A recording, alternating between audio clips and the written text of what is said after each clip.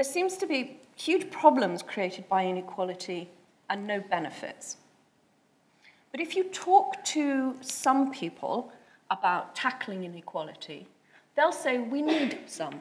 You know, we need a bit of inequality because it's that that drives aspirations, it's that that drives creativity, it's that that creates the wealth which was supposed to trickle down but didn't, that people should be rewarded for their um, ability to make money, etc. So, so they think there are compelling reasons to tolerate some inequality. They're wrong on every single count. There is less creativity in more unequal societies, and we can see that because they grant fewer patents per capita.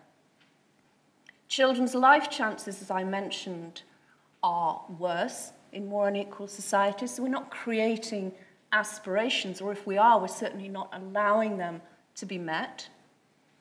And when we pay people ridiculously large salaries, they actually don't do any better.